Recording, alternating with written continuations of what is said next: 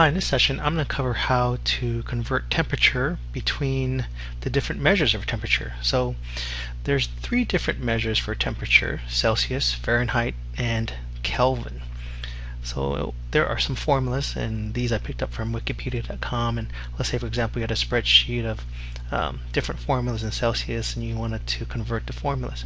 Well there's a way to do it uh, in the temperature here so I mean if we wanted to go and go through and find out what 100 degrees Celsius is in Fahrenheit, well, what we need to do is just look at this formula and go uh, 100 degrees, and then we need to multiply that by 9 over 5, and then plus 32, and that should be 212 degrees Fahrenheit. Well, there's actually an easier way to do this. Let's go ahead and delete that. And you can do this for any one of these areas here. So what we want to do is we want to use the convert function. So the convert function has some predefined uh, values that you can convert measures or you convert from one to another. So we'll select our number here. And from our unit, so once we uh, plug in the comma, it's going to provide different measures that we can use. And the three measures that we can use for temperature are Celsius, Fahrenheit, and Kelvins. So we want to do the from unit, and that's going to be Celsius. And we see that the, the 2 unit here, Fahrenheit, is F. So we just do that, put an F in parentheses, or you can select that. So we just double click it to do the first one, and then once I put another comma, we have our second one here. And I can just scroll down, and I guess I'll just use Fahrenheit for the second one. Double click that, press enter, and now we have our 212. And the same we can do for Kelvin. So how many kelvins is 100 degrees Celsius?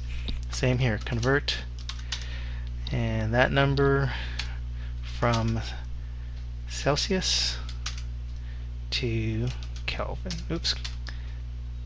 Comma Kelvin.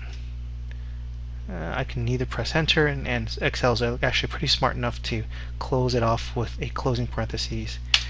Oops. I think I forgot to, uh, I think I did that one incorrectly. Let's see.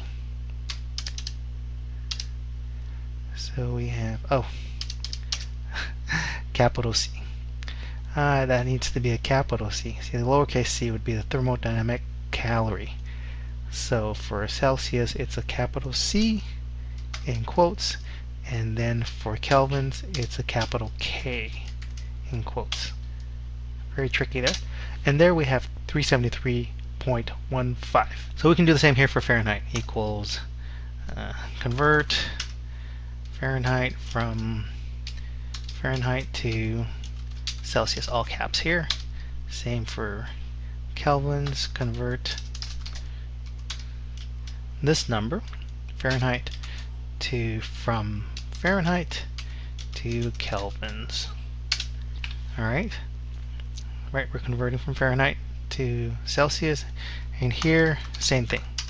Convert that number from kelvins to Celsius. Press enter. Convert 373.15 kelvins from capital K for kelvins to Fahrenheit. And there we have our conversions so instead of writing looking up these formulas and putting those in, Excel has the convert function which actually lets you do the conversions pretty much kind of on the fly. So I hope that helps. Thanks for watching.